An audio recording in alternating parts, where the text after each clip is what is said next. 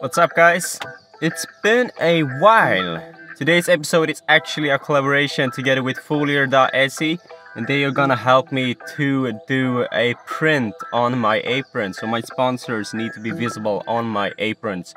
So we're gonna visit their factory in Södertälje and I'll catch you up over there.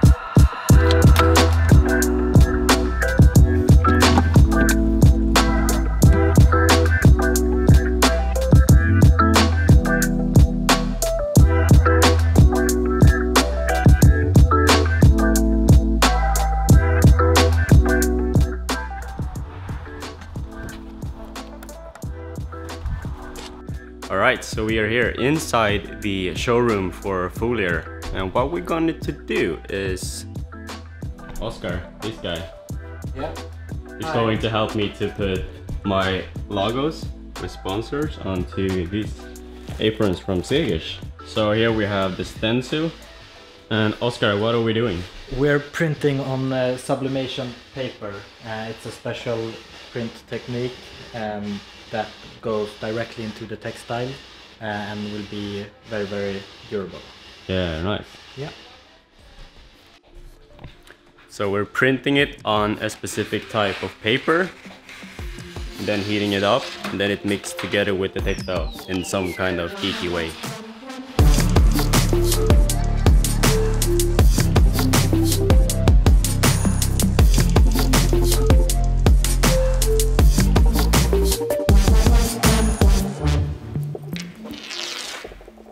What do you guys think of my new logo?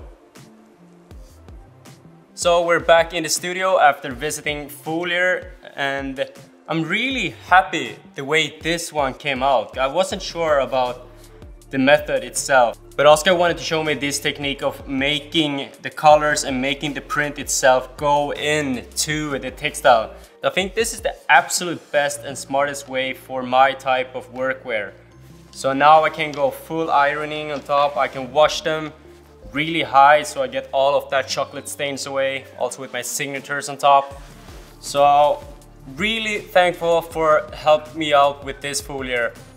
So Folier is actually working with selling the machines that produce this type of thing. So if you're looking into starting a small t-shirt business, printing stuffs, Folier is the exact way to go. Or also if you're looking into cutting machines, for example, my Cameo printer that I do a lot of stencils with, Folier is the way to go, at least here in Sweden. So if you're interested in any of those type of things, the machines, I'll link it below, I'll link it on top.